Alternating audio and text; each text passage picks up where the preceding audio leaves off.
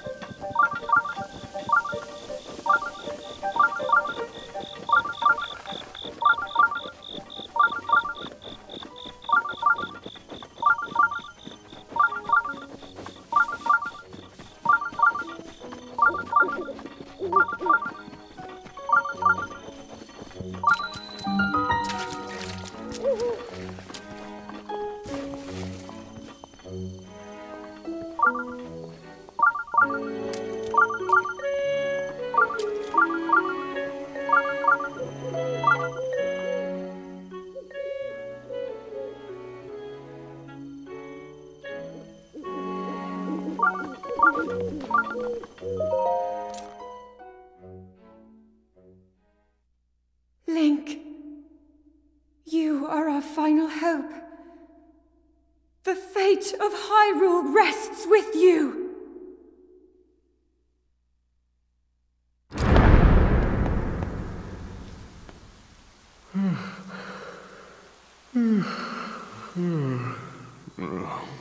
Who is that? Did I doze off again? Hmm? Well, well.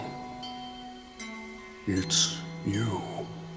You finally decided to return. Better late than never. After 100 years, I'd nearly given up hope on seeing you again. Even my patience has limits, you know. That look on your face tells me that you have no recollection of me, however. I have watched over Hyrule since time immemorial. Many have referred to me over the ages as the Deku Tree. That is the weapon created by the ancient goddess. The sword that seals the darkness that only the chosen knight can wield against the Calamity Ganon. Believe it or not, it was actually you who wielded that sword 100 years ago. But I must warn you to take extreme caution. The sword stands as a test to anyone who would dare attempt to possess it. As you are now, I cannot say whether you are worthy or not. If you sought to free the sword in any sort of weakened state, you would surely lose your life where you stand.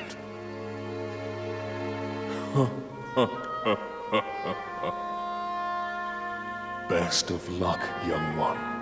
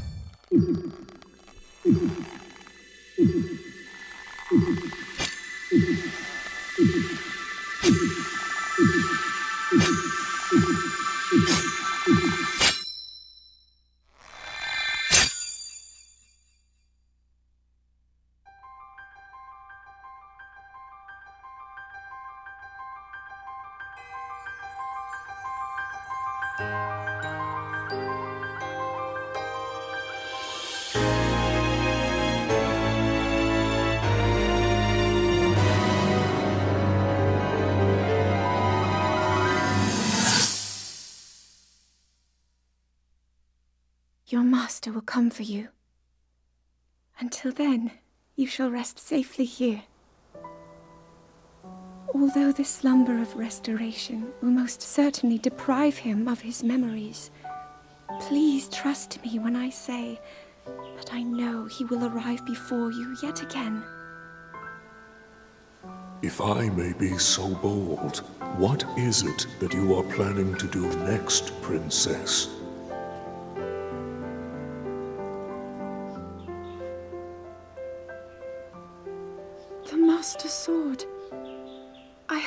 Speak to me. It seems that my role is unfinished. There is still something I must do. I sense there is great strength in your dedication. Great Deku Tree, I ask of you, when he returns, can you please relay this message?